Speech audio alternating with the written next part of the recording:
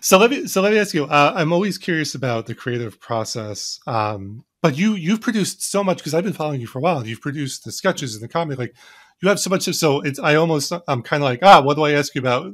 But selfishly, I'm going to ask you about the creative process for writing for television, if that's okay. Perfect. Yeah. Uh, so I, would love to hear just how you think about it, how you approach it.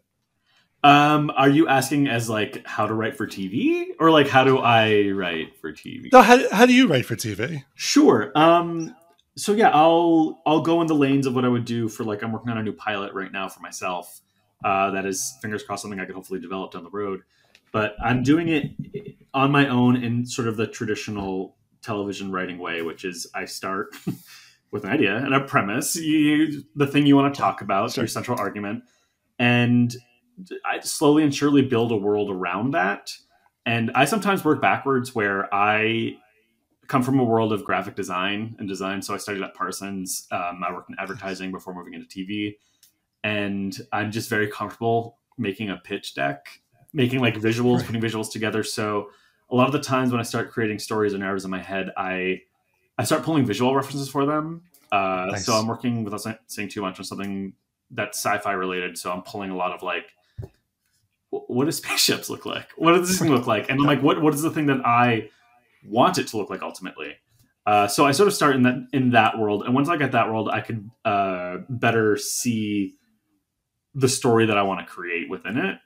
And then I would go to the place of uh, making a beat board. And for those who don't know what a beat board is, a beat board is literally like post-it notes on a wall of scenes. You're like, this could be a fun scene. Uh, I don't know, my character going to a video store is a scene. I don't know that is not a scene I'm doing because that is very bad. But um, sure. it's just an example. So right, uh, I sort of beat out a story uh, based around th- two to three characters, and then try to formulate them into uh, a cold open and three acts.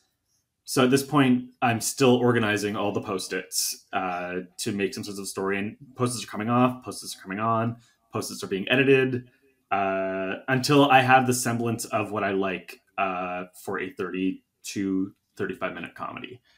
Uh, and once that's done, where I am now is I take all those post its and then I put them into what's called uh, an outline. So you're taking all these single sheets of scenes and expanding them, and you're like, you're essentially Goldilocksing it, where it's you're you're writing down exactly what's happening. Right. And you're, and you're not adding in too much emotion or flavor or anything like that just yet. It's a lot like they go to the store. Once they get to the store, this thing happens, and then when this thing happens, this character is going to do this. Dot dot dot dot dot. Um, within the outline, so you have an expanded version of the beat board now in a written format. It's now in final draft, so it's in a working document. Uh, and from that, I once I'm in the outline, I go into the script. So I'll transcribe those scenes into actual dialogue, uh, and that would be the final step for writing a little pilot, which is what I'm working on right now. Sure. And I'm trying to think what else I could think about it, but uh,